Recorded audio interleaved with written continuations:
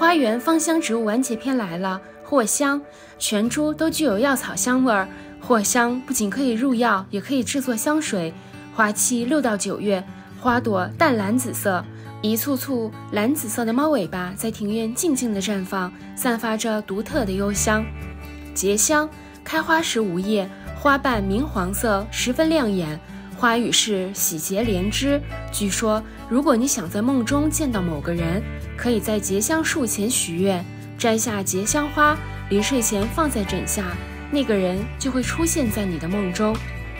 碎花母荆也叫树状薰衣草，花期七到八月，开出来的蓝紫色花朵很漂亮，点缀在院子中十分素雅。耐寒性很好，北方的院子也可以种植。桂花，小编有幸在南方的学校读过书，一到桂花开花的季节，校园整个飘散着清新的香味儿。桂花耐高温，最低能耐零下十三摄氏度低温，北方的小伙伴只能盆栽了。茉莉，在古代没有香水，小女子们便去向茉莉借香。茉莉花期五到八月，从花朵散发出来的香味儿很清新舒畅。茉莉不耐寒，零下三摄氏度会冻伤。有研究证明，芳香花园有助于精神舒缓。快在花园里安排起来，从此就能告别 emo 啦！园想家，您身边的造园专家。